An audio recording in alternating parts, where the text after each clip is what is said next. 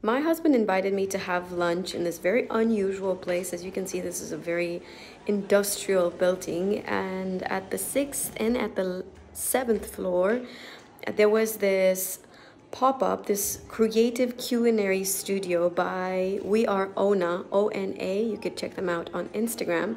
And they create this amazing uh, experiences all around the world. And they have the pop-up in paris until october 22nd i didn't know about this. I was so happy that alex um, made reservations because we get to experience the most amazing food by a very, very talented chef. Her name is Delaide. Uh, Delaide Kambu. I'm not sure if I pronounced this correctly, but if you have a chance, you could, you should definitely check this out.